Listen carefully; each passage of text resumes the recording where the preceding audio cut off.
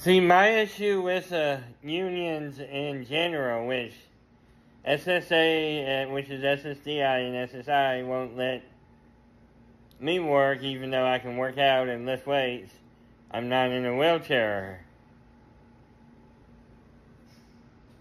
Like Greg Abbott is, you know.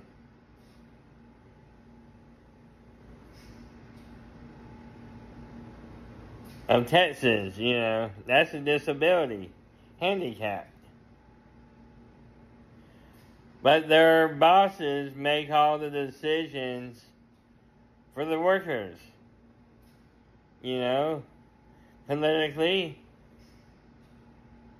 the rules, they're the bosses. It's not we the people. As it should be.